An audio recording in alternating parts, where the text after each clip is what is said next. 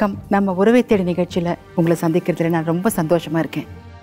Meaningful life அதாவது அர்த்தமுள்ள ஒரு வாழ்க்கை அப்படின்னா என்னங்க? நிறைய படிச்சுட்டு இருக்கிறதா?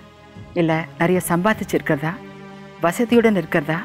இல்லை பர்ஃபெக்டாக இருக்கிறதா வாழ்க்கையில்? எதுவுமே இல்லைங்க. ஹம்புல்னஸ் பணிவாக இருக்கிறது. கேரிங் அடுத்தவங்களோட வலியை புரிஞ்சுக்கிறது. நம்ம சுற்றி இருக்கிறவங்கள சந்தோஷமாக வச்சுக்கிறது. இதுதாங்க வாழ்க்கை. இப்போது பார்த்தியா நம்மளை யூஸ் பண்ணிட்டு எப்படி உங்களை தூக்கி போட்டாங்கன்னு அப்படின்ட்டு யாராவது சொன்னாங்கன்னா நம்ம அதை பற்றி கேரே பண்ணக்கூடாதுங்க. நாம அவங்களுக்கு யூஸ்ஃபுல்லாக இருக்கோம். அவ்வளோதான் இதுதாங்க வாழ்க்கை. இப்போ நான் பேச போகிற குடும்பத்தை பற்றி என்னன்னா ரெண்டு அண்ணன் தம்பிங்க. அதில் ஒருத்தர் நல்ல ஒரு பாதையில் போயிட்டுருக்காரு. இன்னொருத்தர் வழி தவறி பாதையில் போயிட்டுருக்காரு. அவங்க யார் என்னங்கிறத ஏவியில் பார்த்துருவாங்க சென்னை திருவல்லிக்கேணி. பிழைக்க வழி தேடி சென்னை பட்டணம் வரும் இளைஞர்களை வாஞ்சையோடு வாரி அணைத்துக் கொள்ளும் மேன்ஷன்கள் இங்கு அநேகம். சில மாதங்களுக்கு முன்பு அந்த பகுதியில் வசித்து வரும் மேன்ஷன் வாசியான ஒருவர் நமது உறவை தேடி குழுவை தொடர்பு கொண்டிருந்தார். தனக்கு தெரிந்த நபர் ஒருவர் தனது தாய் தந்தையை பதினைந்து வருடங்களுக்கும் மேலாக பிரிந்து வாழ்ந்து வருவதாகவும் அவரது பெயர் நாகலிங்கம் என்றும் கூறியிருந்தார். நமக்கு அலைபேசியில் பேசியிருந்த அந்த நபரை சந்தித்த போது நம்மிடம் நாகலிங்கம் குறித்த மேலும் சில தகவலையும் அவர் பகிர்ந்து கொண்டார். அப்போது நாகலிங்கத்தை நாம் நேரடியாக சந்திக்க முடியவில்லை. மேலும் அந்த நபர் கூறிய விவரங்கள் நாகலிங்கத்தின் பிறந்த ஊர் கன்னியாகுமரி அருகே இருக்கும் சுக்குப்பாறை என்றும் ஏதோ ஒரு வைராக்கியத்தில் தனது ஊரை விட்டு வெளியேறி மேன்ஷனில் வசித்து வரும் தகவலும் நமக்கு தெரிய வந்தது. அதன் முடிவாக நாகலிங்கம் என்பவரின் உறவினர்களை தேடி கண்டுபிடிக்க எண்ணி கன்னியாகுமரி நோக்கி விரைந்தது நமது உறவை தேடி குழு. கன்னியாகுமரி பகுதி. அங்கு நாம் பல இடங்களிலும் விசாரித்தோம். அதன் பலனாக நமது குழுவின் முயற்சி வீண் போகவில்லை. முடிவில் நாகலிங்கத்தின் தந்தை பெயர் பொன்பாண்டி என்றும் அவரது தாயார் சரோஜா என்பதும் தெரியவந்தது. ஒரு பதினாறு பதினேழு வருஷம் இருக்குமா? எவ்வளோ ஊரில் வய பதினெட்டு வயசு பிறகு கிளம்பி. போனவன் எல்லாத்துலேயும் மூத்த மவன் நல்லா இருக்கு, சந்தோஷமா இருக்கு, நல்லா இருக்கு. இல்லாம இல்ல இப்போ அவன்கிட்ட அண்ணா ஆள் வந்திருக்கு இல்லையா? ஒரு சமயம் சப்போஸ் அவன் செத்துக்கிட்டு இல்ல போய் அப்படின்னாலும் இல்ல இல்ல இல்ல பதட்டம்லாம் பட வேண்டாம். நல்லா அது வந்து ஒரு கடந்த பதினெட்டு வருடங்களாக மகன் ஒருபுறம் அவரை பெற்றவர்கள் ஒருபுறம். ஏன் இந்த பிரிவு? அதற்கான காரணம் என்ன? இவர்கள் இணைவார்களா என்கிற கனத்த கேள்வியோடு அங்கிருந்து கிளம்பினோம். எங்கள் தலைப்புள்ள வீட்டுக்கு வரதே இல்லை. பதினெட்டு வருஷமா ஏதோ ஒரு சின்ன சின்ன தவறுகள் பண்ணி ஓடி ஒளிஞ்சுக்கிட்டு இருக்காரு. வீட்டுக்கே வரதில்லைன்னு அந்த தாய் தந்தை அண்ணன் தம்பி எல்லாரும் மொத்த குடும்பம் வந்திருக்காங்க. அவங்கள கூப்பிட்டு என்ன ஏதுன்னு விசாரிப்போங்க. அம்மா சரோஜா ஐயா பாண்டியன்.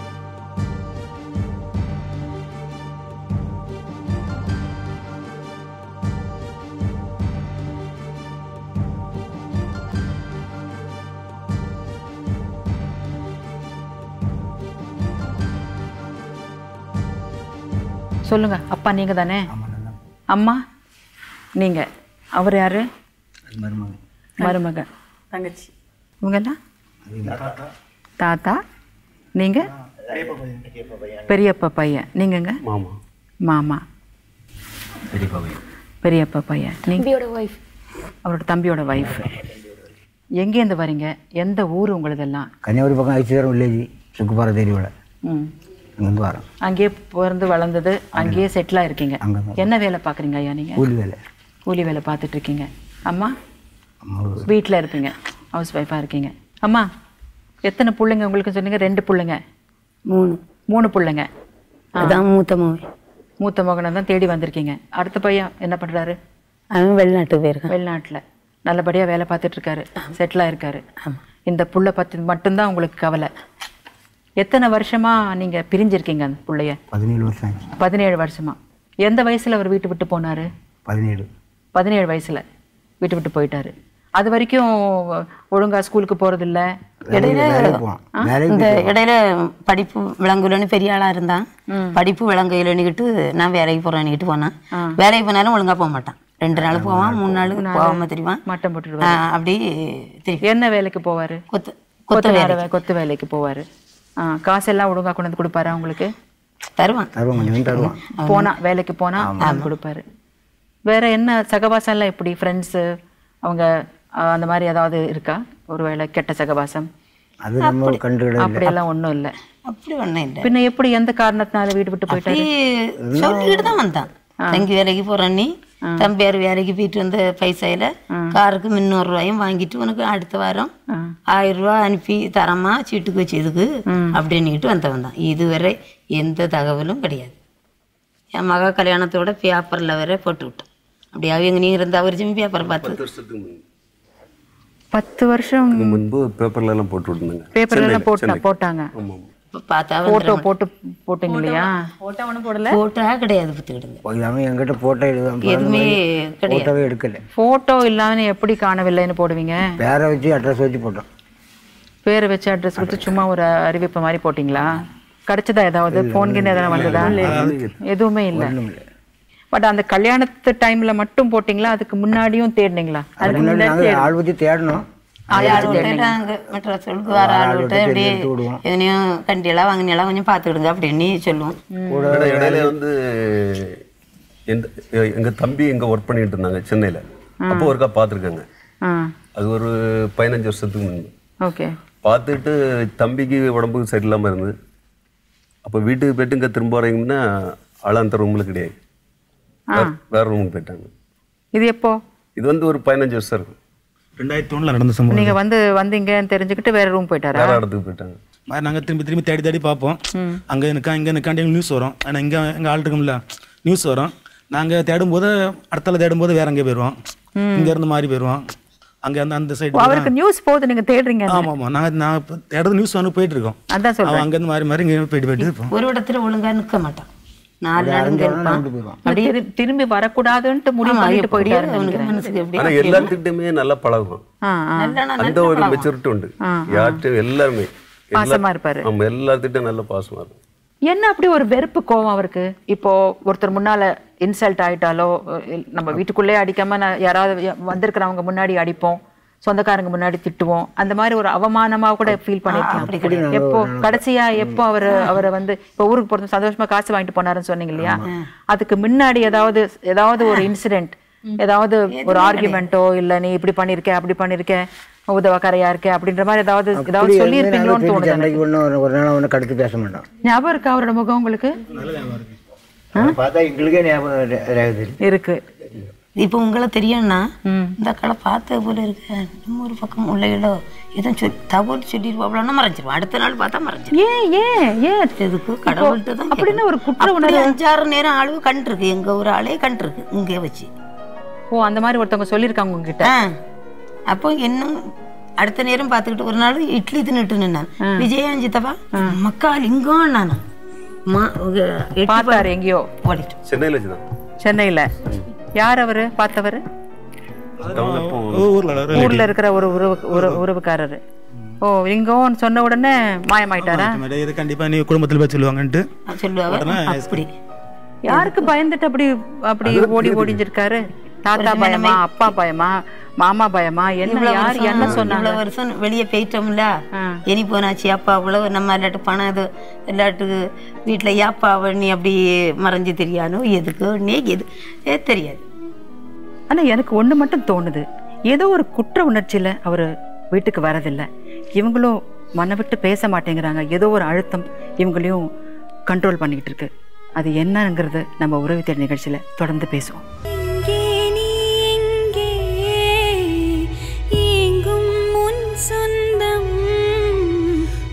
உறவை தேடி சேர்ந்திடாமல் உயிரேடு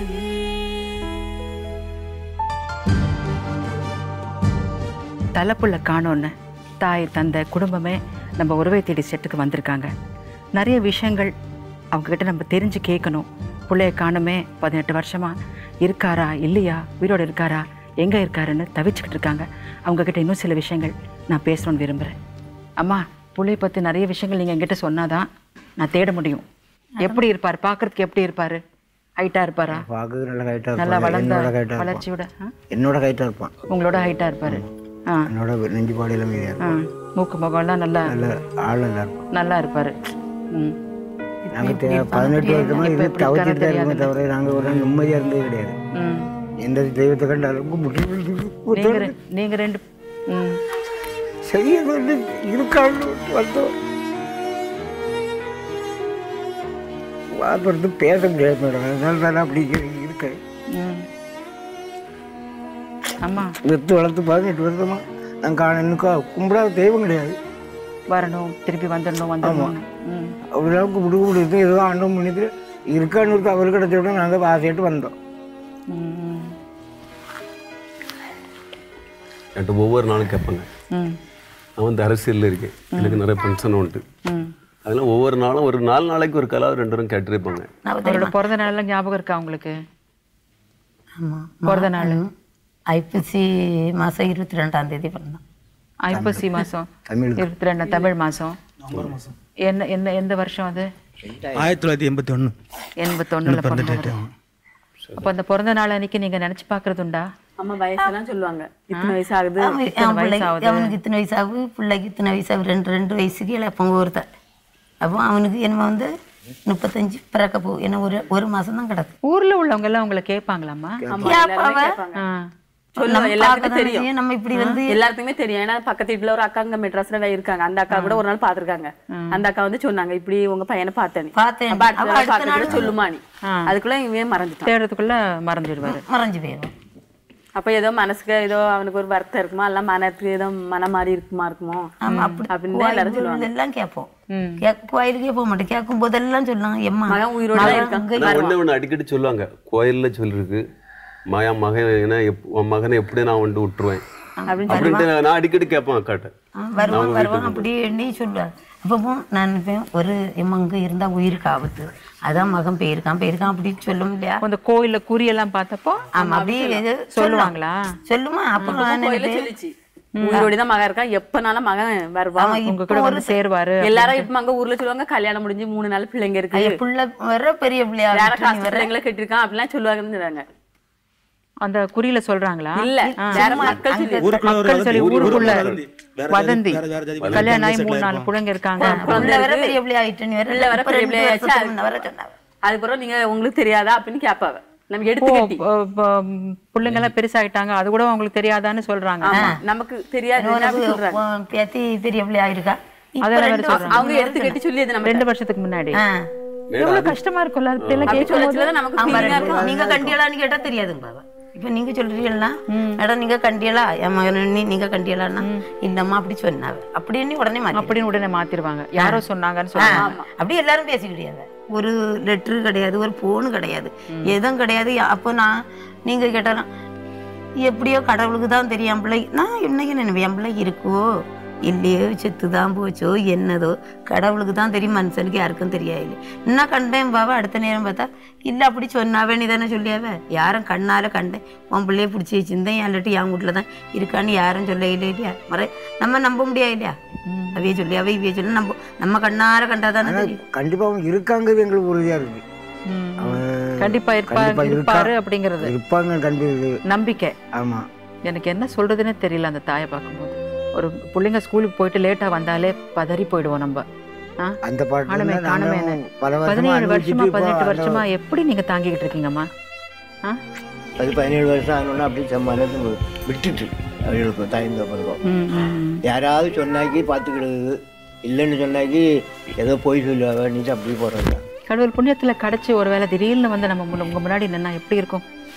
சந்தோஷமா தான். ஆள் கட்டி அழகா கட்டி செய்யும் என்ன பண்ண முடியும்?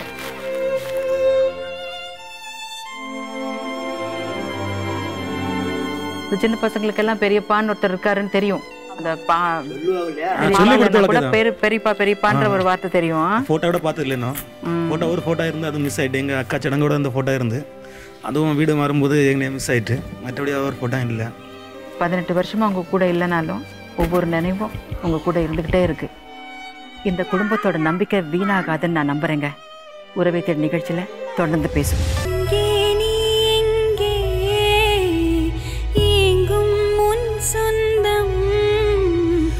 உறவை தேடி சேர்ந்திடாமல் உயிரேடு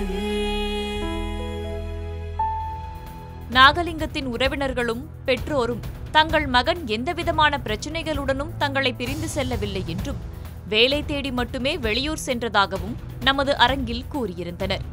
ஆனால் நாகலிங்கத்தை நேரடியாக சந்தித்து அவரை நமது அரங்கத்திற்கு அழைத்து வர நினைத்த நமது முயற்சி முழுவதுமாக கைகூடவில்லை.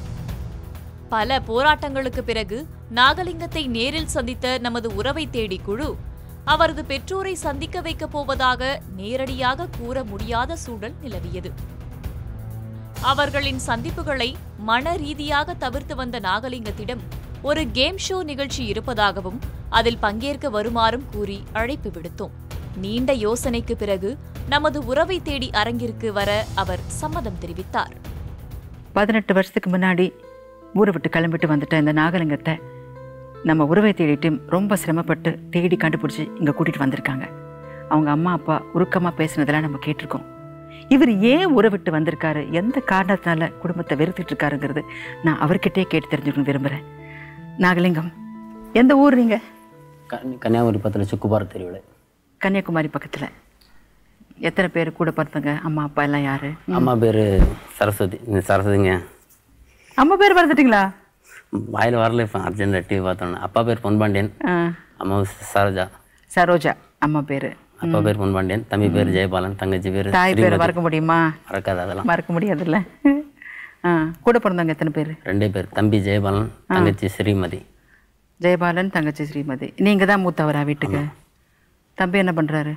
அதெல்லாம் தெரில அப்போ ப படிச்சுட்டு சும்மா கூலி வேலைக்கு போயிட்டு இருந்தார். படிச்சுட்டு சும்மா கூலி வேலை பார்த்துட்டு இருந்தாரா? ஏழாவது எட்டாவது முடிச்சிருந்தார். அவ்வளோதான் தெரியும். தங்கச்சி? தங்கச்சி டென்த்து ஆ டென்த்து படிச்சாங்க. கல்யாணம் ஆயிடுச்சா உங்களுக்கு? அதெல்லாம் தெரியாது. தெரியாதுன்றீங்க? நான் போகலை. நான் ப பதினாலு அஞ்சு வருஷம் ஆச்சு ஊருக்கு போய். ஏன்? அதெல்லாம் ஒன்றும் இல்லை. நாங்கள் வந்து ஜாலியாக அப்படியே சம்பாதிச்சு நானே செலவு நானே இருந்துக்கிட்டேன் அது எப்படி? அம்மா அப்பா ஞாபகம் வர மாட்டாங்க? ஞாபகம் வரும். அந்த ஊருக்கு போனாலே நம்ம ஒரு நாலஞ்சு நாளைக்கு மேலே வீட்டுக்கு போகணும் போகணும்னு தோணும்ல. உங்களுக்கு அது தோணலை? எனக்கு அந்த எண்ணம் வரல. ஏன்? தெரில தெரியலன்றீங்க க்யூட்டாக பேசுறீங்க. எனக்கு தோணல வரல. ஏன் சண்டை போட்டு வந்தீங்களா? சண்டைலாம் ஒன்றும் கிடையாது. ஆ. அவங்ககிட்டே காசு வாங்கிட்டு தான் நான் சென்னைக்கு வேலைக்கு போகிறேன்ட்டு வந்தேன். அப்படிங்களா? எந்த வயசில் அப்படி கிளம்பி வந்துட்டீங்க? ஆச்சு இப்போ ஏஜ்லாம் கரெக்டாக சொல்ல தெரியாது. ரெண்டாயிரத்தி ரெண்டு மே மாதம் வந்தேன். இப்போ இப்போ உங்களுக்கு தேடலையா அவங்க யாரும் தெரில அவங்க தேடினாங்களா இல்லைன்னு நான் தேடல அவங்க தேடி இருக்காங்களா இல்லைன்னு இப்போ நீங்கள் எங்கே இருக்கீங்க? நாங்கள் நான் மவுண்ட் ரோட்டில் தான் இருக்கோம். எவ்வளோ சம்பாதிப்பீங்க ஓ, மாசத்துல? ஒரு பதினஞ்சாயிரரூவா சம்பாதிப்பேன். மாசத்துல. எவ்வளோ செலவு பண்ணுவீங்க? அப்படியே செலவு பண்ணிடுவேன். அப்படியே செலவு பண்ணுவீங்க. வாடகை கொடுத்து போக மிச்சம் செலவு பண்ணிடுவேன். வாடகை கொடுத்துட்டு செலவு பண்ணிடுவீங்களா? பட் சேர்த்து வச்சுக்கணும்ல உங்களுக்காக ஃப்யூச்சருக்கு அது ஃபியூச்சர்னு ஒன்று வரும்போது பார்த்துக்கலான்னு ஒரு ஐடியா ஃப்யூச்சர்னு ஒன்று வரும்போது பார்த்துக்கலாம் ஆமாம் ரொம்ப ப்ராக்டிக்கலாக இருக்கீங்க போல இருக்குல்ல? இவங்க எல்லாம் யாரு? என் ஃப்ரெண்டு அவரும் ஃப்ரெண்டு என் அண்ணன் மாதிரி அவரும். ம். இன்னும் ரெண்டு ஃப்ரெண்டுங்க வந்திருக்காங்க. நீங்கள் எல்லாருமே மேன்ஷனில் தான் இருக்கீங்களா? இல்லை என் ஃப்ரெண்ட் லாட்ஜில் இருக்காரு இவர். ஃப்ரெண்டு லாட்ஜில் இருக்காரு அவர். நீங்கள் அது அவர் பெயிண்ட் வேலைலாம் சொல்லுவேன் நான் அவருக்கு. பெயிண்ட் வேலைலாம் சொல்லுவேன். நான் பேசுவேன் நீங்கள் பேசிடுவீங்க. அவர் ஃப்ரெண்டில் கம்பெனி வச்சு நடத்துறாரு நல்லா நல்ல பழக்கம். எப்போ போவீங்க ஊருக்கு? நான் இதுவரையும் போகல. போகணும்னு நினைக்கலையா? இன்னைக்கு என்னைக்குல என் ஃப்ரெண்ட்ஸ்க்கு போங்கிறாங்க. போகலாடா ஒரு டைம் போகலாடான்னு சொல்லிட்டு இருக்காங்க போகணுங்க. போகலாம் அப்பா அம்மாவுக்கு வயசாயிருக்கும்ல. என்ன வயசு இருக்கும் அம்மாவுக்கும் அப்பாவுக்கும் இப்போ? எங்கள் அப்பா அம்மாவுக்கும் நாற்பத்தஞ்சு ஐம்பதுக்குள்ளே இருக்கும். தம்பி தம்பி தங்கச்சிங்க சரி அவங்க எல்லாம் ஆரோக்கியமா நல்லா இருப்பாங்க. அப்பா நல்லா இருப்பாங்க. எங்கள் அப்பா நல்லா இருப்பாங்க. அம்மா அப்பா? அவ எங்கள் அப்பா பார்த்துக்குவார். எங்கள் அப்பா. வந்து எந்த கட்டுப்பழக்கம் இல்லாதவர். அதனால நல்லா இருப்பார். நல்லா இருப்பாரு. அப்பாவுக்கு வயசாகும் இல்ல? வயசாகும். தம்பி கூட இருந்து. காப்பாத்துறதுக்காக நான் சொல்ல வரல. இப்போ அவங்க அவங்க வந்து உங்களை தேடி தேடி இருந்திருக்கலாம். தேடி புள்ள எங்கன்னா காணாம போயிட்டாங்கன்னா தேடுவாங்க தானே. திடீர்னு போயிட்டு ஒரு நாளைக்கு போய் சர்ப்ரைஸ் பண்ணலாமே நீங்க ஊருக்கு போயிட்டு. வேற என்ன வாழ்க்கையில இருக்கு? அது நான் சேர்த்து வச்சு ஃப்ரெண்ட்ஸ் எல்லாரும் சேர்ந்துட்டு டக்குன்னு போய் நின்றுட்டு அவங்க வேண்டியது ஏதாவது gift வாங்கிட்டு போயிட்டு அதெல்லாம் ஃப்ரெண்ட்ஸுங்க எல்லாம் ஹெல்ப் பண்ணுவாங்க. ஹெல்ப் பண்ணுவாங்கல்ல? அப்போ போகணும் நீங்க. போகலாம். அவங்க இருக்கும்போதே போகணும்ல? அப்புறமா அங்கே போனதுக்கப்புறம் ஒரு சப்போஸ் காட் ஃபார் பிட் நீங்கள் இன்னும் ஒரு பத்து வருஷத்துக்கு அப்புறம் போனீங்கன்னு வச்சுங்க. ஒரு வேலைன்னா ஏதாவது மனசு கஷ் கஷ்டமான தகவல் ஏதாவது குடும்பத்தில் சொன்னாங்கன்னா உங்களுக்கு ஒரு ஃபீலிங் வரும்ல? ஐயோ ஒரு பத்து வருஷத்துக்கு முன்னாடியே போயிருந்துருக்கலாமே. அம்மா அப்பா உயிரோட பார்த்துருக்கலாமேன்னு தோணும்ல? ஆ. அதெல்லாம் நீங்கள் பண்ணணும். என்ன நீங்கள் ஜாலியாக இருக்கீங்க? தம்பி தங்கச்சிக்கெல்லாம் கல்யாணம் ஆயிருக்கலாம் இல்லை ஆயிருக்கலாம். நீங்கள் என்ன நினைக்கிறீங்க? தங்கச்சி கண்டிப்பாக இருக்கும் ஆயிருக்குமா? பட் உங்களுக்கு தங்கச்சி பத்திரிக்கை வைக்கிறதோ தங்கச்சிக்கு கல்யாணம்ன்ற தகவலோ யாரும் உங்ககிட்ட வந்து சொல்லலையா? யாருமே சொல்லு யா எந்த ஃபேம் ஃபேமிலி மெம்பர்ஸ் கூட டச் இல்லையா? யார்கிட்டயும் உறவுக்காரங்க. ஊருக்காரங்க. ஊர்ல இருக்கிற ஃப்ரெண்ட்ஸ் யார் யார்கிட்டையும் டச்சுக்கிட்டேன் ஏன் கட் ஆஃப்ல இருக்கீங்க? அப்போ நாங்கள் வரும்போது ஃபோனே கிடையாதுங்க முதல்ல. பர்சனல் விஷயம் கேக்குறேன். சொல்லுங்க. பர்சனல் விஷயம் ஒன்றும் இல்லைங்க. நான் தான் இல்ல எதனால திட்டாங்க அம்மா அப்பா திட்டினதுனால வந்துட்டீங்களா? அம்மா என்னங்க சின்ன வயசுல திட்டாததாங்க. எந்த அப்பா அம்மா தான் திட்டாம இருக்காங்க. கரெக்ட் இல்ல. ஏதாவது மனசு கஷ்டத்துல போயிட்டீங்களா? கஷ்டம் இல்லை. வந்தேன் சாரியா சம்பாதிச்சேன் சாரியா அப்படியே சாப்பிட்டு வீட்டுக்கு கொடுக்க முடியாத நிலமானோன்னா அப்படியே விட்டுட்டேன். வீட்டுக்கு நீங்க கொடுக்கணும்னு எந்த தாய் தந்தையும் எதிர்பார்க்க மாட்டாங்க. முடியலன்னா. கொண்டு வந்து கொடுன்னு கேட்பாங்க. ஒருவேளை முடியலன்னு யாரும் கேட்க மாட்டாங்க அப்படி. உண்மைதாங்க. ஒரு எதிர்பார்ப்பே. இல்லாம ஒரு நம்ம ஊதாரியா இருக்க முடியாதுல்ல ஊர்ல. இப்போ நான் இப்போ இல்லையே இப்போ நல்லா இருக்கீங்களே. நல்லா இருக்கிறேன். அங்க இருந்தா இதோட மோசமா தான் இருந்திருப்பேன். நல்ல ஒரு மாதிரி கான்ட்ராக்டர் பெயிண்டிங் கான்ட்ராக்டராக இருக்கீங்க. இவ்வளோ அழகா வளர்ந்தாச்சு. பார்க்கறதுக்கு ஹீரோ மாதிரி இருக்கீங்க. ஹீரோ ஹீரோன்னு சொல்லாங்க. ஜீரோவா இருக்குங்க. ஜீரோவா இல்லைங்க நீங்க. ஜீரோவா ஹீரோ எவ்ரி ஹீரோ ஜீரோலேருந்து தான் வருவாங்க.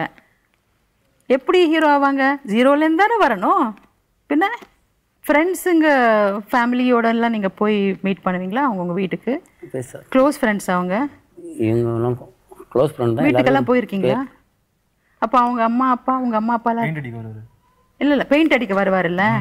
அப்போ அவங்க அம்மா அப்பா பார்க்கும்போது நம்ம அம்மா அப்பா எங்க இருப்பாங்களோ? அப்படின்னு தோணணும்ல உங்களுக்கு? தோணும்? அப்போ என்ன நினைப்பீங்க? மனசுக்குள்ள நினச்சிக்க அவ்வளோதான் ஞாபகம். உங்க பிறந்த நாள் எப்போ? அது எனக்கு கிளியராக தெரியாது. கிளியரா தெரியாது. ஆனா பெத்த தாய் தந்தைக்கு கண்டிப்பா உங்க பிறந்த நாள் தெரியும். ஒவ்வொரு பிறந்த நாளுக்கும் உங்களுக்கு பிடிச்சதை சமைச்சுக்கிட்டு சாப்பிட்டுக்கிட்டு அழுதுகிட்டே சாப்பிட்டுட்டு இருந்திருப்பாங்க. எனக்கு தெரிஞ்சு எங்க அப்பா அம்மா பிறந்த நாள் கொண்டாடுறதே கிடையாது. கொண்டாடணும்னா என்ன எனக்கே தெரியாது. அவங்க கூட நானும் பதினாறு பதினேழு வருஷம் இருந்தேன். இதான் அவன் பிறந்த நாள் அவங்களும் சொன்னது எனக்கு கிடையாது.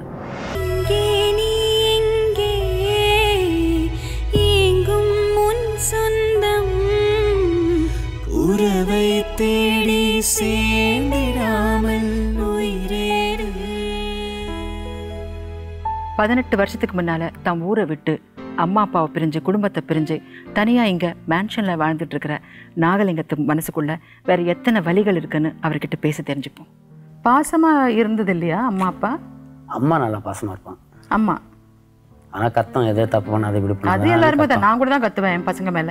தப்பு பண்ணா. அம்மா கொஞ்சம் நல்ல தான் இருக்கும். எதுக்கு எடுத்தாலும் ஆனால் ஓரா கத்தம். அப்பா அது எதுவும் கண்டுக்க மாட்டாரு. அவர் பாட்டுக்கு போகிற வருவார். அந்த மாதிரி இருப்பார். அப்பா வந்து போட்டு பாசத்தை வெளியே எது தப்பு பண்ணா போட்டு அடிப்பாரு. பொண்ணை போட்டு அடிப்பாரு.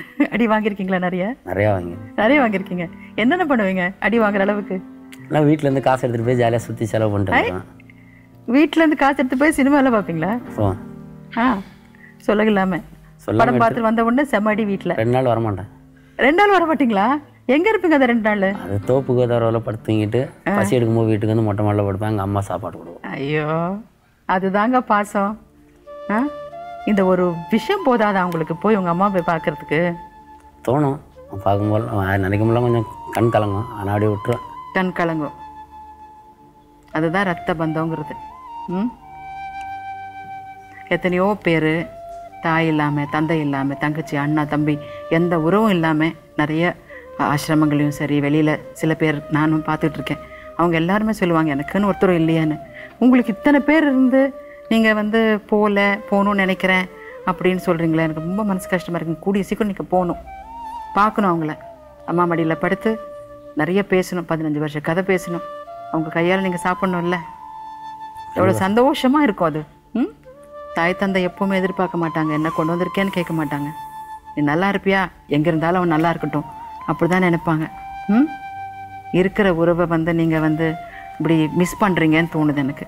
இந்த பதினஞ்சு வருஷ பேச்சுவார்த்தைகள் பதினஞ்சு வருஷ ஏன்னோ ஒரு பொங்கல் ஒரு தீபாவளி நல்ல நாள் கெட்ட நாள் கஞ்சி குடித்தாலும் எவ்வளோ பதார்த்தங்கள் பண்ணி குடித்தாலும் அந்த பாண்டு உங்கள் கூட உட்காந்து சாப்பிட்ற பாண்டு அதெல்லாம் நீங்கள் மிஸ் பண்ணிட்டீங்கல்ல? இல்லை? அது உண்மைதான். உண்மை தானே அது? ம்?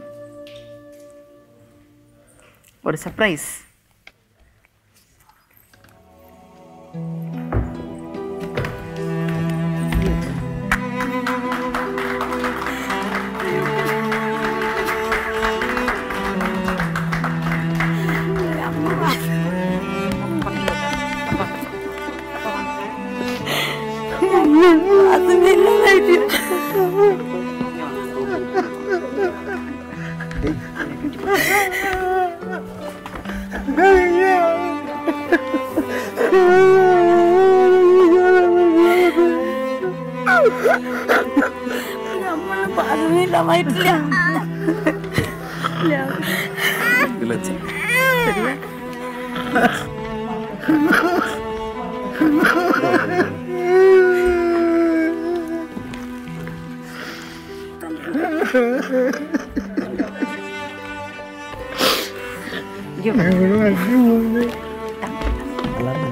ഞങ്ങൾ വണ്ടി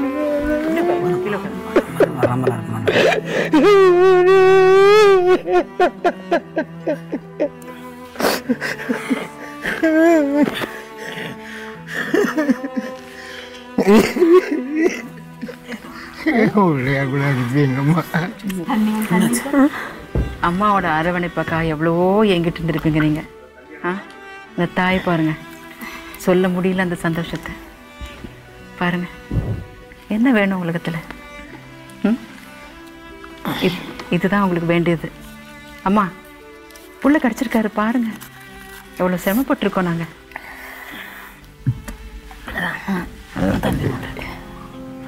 தம்பி தான் மாட்டேன் வெளிநாட்டில் இருக்கு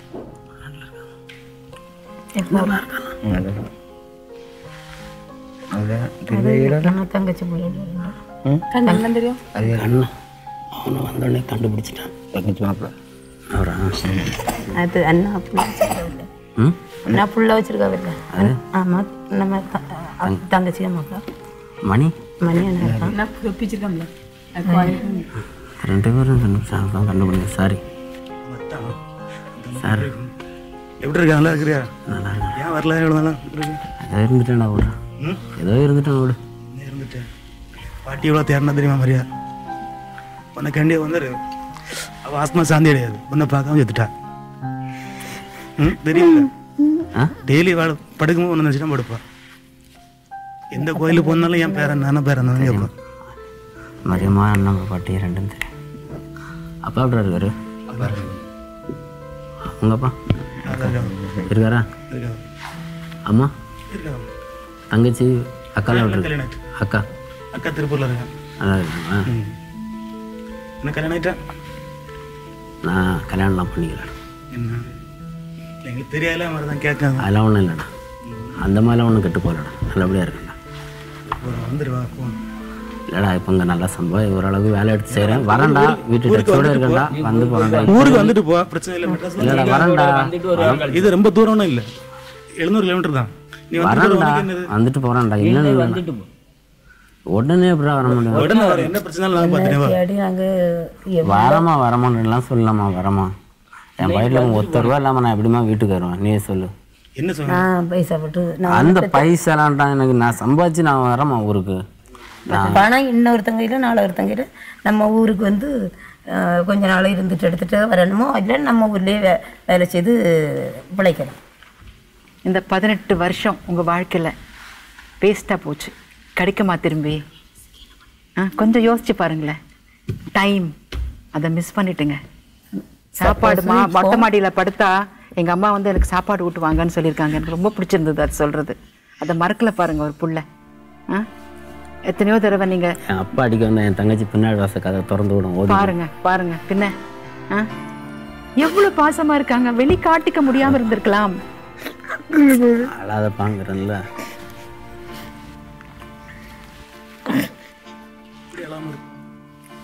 கையால் சாப்பாடு ஊட்டணுன்ட்டு எவ்வளோ துடிச்சிட்டு இருக்காங்க அம்மா? கல்லாட்டம் உட்காந்துருக்கீங்க ஆனால் உங்களுக்கு ஃபீலிங்ஸ் இல்லை நான் சொல்லலை. இருக்கு. வெளியே வெளிப்படுத்த விரும்பலை நீங்கள் ஆ? நாலு வார்த்தை பேசுங்க அவங்க கிட்ட ஆறுதலா. வந்துட்டான் வந்துட்டேன் வந்துட்டேன்ப்பா நான் அப்படின்ட்டு மனசை விட்டு பேசுங்க. அவன் இப்போ என்ன சொல்லலாம் நான் இவ்வளோ வருஷம் வந்தோம்ல என் கையில் காசு இல்லை. சரி அது காசு நேரத்தோட வரக்கூடாதுங்க. கெட்ட நேரத்தோ ஒரு கெட்ட நேரத்தில் நம்ம கையில் இருக்காது. இருக்கட்டும். நாங்க இருக்கட்டும். நாங்களே நாங்களே அது வாணி கூடியும் இன்னைக்கு அப்பாயும் அம்மையும் உயிரோட இருந்ததுனால தானே ஒன்று ஒரு இடத்துல இருக்கான்னு எவ்வளோ ரூபாய் செலவழிஞ்சாலும் நம்ம பிள்ளைய பார்த்துருவோம். ஒருத்தர் சொல்லியாவளே அவன் அவன் மனசுக்கு எப்படியும் இருக்கட்டு. நம்ம கூப்பிட்டா வருவான் நம்ம பிள்ளை. அப்படின்னு தானே நாங்கள் வந்தோம். ஆ? அம்மையும் அப்பாயும் இருந்ததுனால தானே வந்தோம். யாரும் வர மாட்டாங்க பெத்தவங்க தான் வருவாங்க. கூட யாரும் பார்க்கறதுக்கு உங்களுக்கு ஒன்றுன்னா துடிச்சு போகிறது ஒரு தாய் தந்தை தங்க. வேற யாரும் ஃப்ரெண்ட்ஸ் இருப்பாங்க ஃப்ரெண்ட்ஸும் துடிப்பாங்க. அதை பற்றி நான் தப்பாக சொல்லலை. யாருக்கு வேணும் காசு? ஆ? காசு உள்ளவங்க எத்தனையோ பேருக்கு வந்து சொந்த பந்தங்கள் இல்லாமல் என் அப்பா அம்மா ஏற்றுக்குவாங்க ஊரில் போகும்போது வித்தவங்க சுற்றிட்டு தெரியும்னு சொல்லுவாங்க? அப்பா அம்மாவுக்கு தானே? கஷ்டம் அதை நான் யோசிப்பேன்ல. அதாவது அப்பா அம்மாக்காண்டு வளர்ந்தா போதும். எனக்கு தொழில் கற்றுக் கொடுத்தீங்க கொஞ்சம் கொஞ்சமாக கூட்டிட்டு போய் தான் வந்தேன். வருது பாருங்க ஊர் பயப்படுறாரு. கோயில் வேலைன்னா என் மாமனுமே யாரும் செய்ய முடியாதுன்னு சொல்லுவேன்.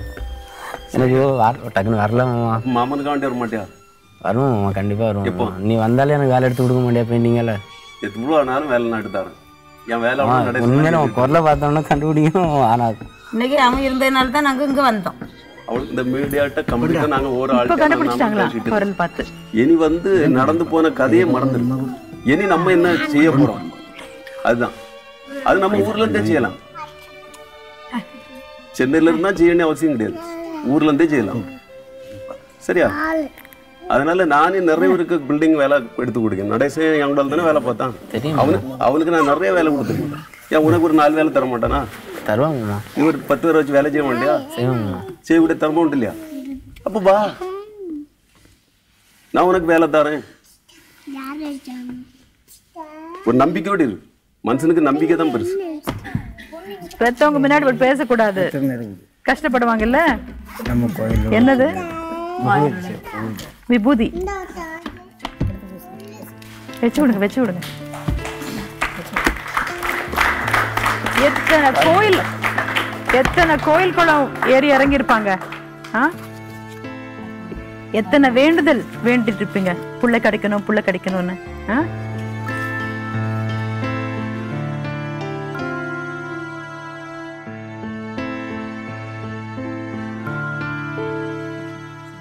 என்ன வேண்டிட்டு கொண்டு வந்தீங்க அம்மா அம்மா சரோஜா அம்மா என்ன வேண்டுதலோட வேண்டிட்டு கொண்டு வந்தீங்க. சொன்னோம். கோயிலில் கொண்டு. கொண்டு போமா மகனுக்கு போன உடனே பட் பட்டை தான் பிடிக்கும் பட்டை போட்டுருமா பட்டை போட்டுட்டுங்க. எடுத்து வரணும் வேண்டுதல் நிறைவேறிச்சா ஆ? உங்க அம்மாவோட மக முகத்துல ஆயிரம் பல்ப் எரியுது பாருங்க. நான் இது வரைக்கும் வந்து சென்னைக்கு வந்து எந்த அம்மன் கோயிலுக்கும் போனது எந்த ஒன்று ரெண்டு வாட்டி திருப்பதி போயிட்டு வந்திருக்கேன். நம்ம அம்மா வந்து எந்த கோயிலுக்கும் போகிறது கிடையாது. அடுத்த மாதம் வந்தோடனே முப்பத்தி நாலு முடிஞ்சு முப்பத்தஞ்சு அவரோட பிறந்த நாள் அவருக்கு ஞாபகம் இல்லையா? ஆனா நீங்க- உங்களை கேட்டப்போ டக்குன்னு சொல்லிட்டீங்க.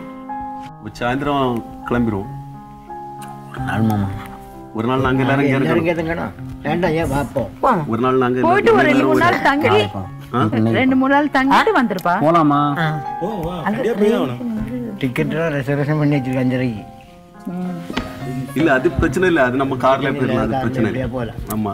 பஸ்ஸில் போகலாம் பஸ்ல போலாம் அது இந்த அது பிரச்சனை ஊர்க்காரங்க என்ன சொல்லுவாங்கன்னு சொல்லிட்டு இருந்தீங்க? இப்ப ஊர்க்காரங்களே நாங்கெல்லாம் எனக்கு வேலைக்கு கூட்டிட்டு போறதே என் நீ எந்த டிஸ்ட்ரிக்ட்ல நீ எவனும் வந்து அவரமா ஒரு கோயில் வேலைலாம் செய்ய முடியாது. இன்ஜினியர் பிளான்லாம் தோத்து போய் என் மாமன் கிட்ட அவர் போதுமேங்க உங்களுக்கு. உங்க வாழ்க்கைக்கு கஷ்டப்பட்டு மேன்ஷன்ல இருந்துகிட்டு. வேலை வருமா வருமான வானத்தை பார்த்துட்டு இருக்கிறதுக்கு சினிமா. முட்டத்துக்கு போயிருக்கிறீங்களா? கன்னியாகுமரி முட்டத்துக்குலாம் போலங்க போகணும்னு ஆசையா போனா பாருங்க அங்க எங்க மாமன் கட்டின கிறிஸ்டின் கோயில் இருக்கும். கோபுரம் மாதிரி.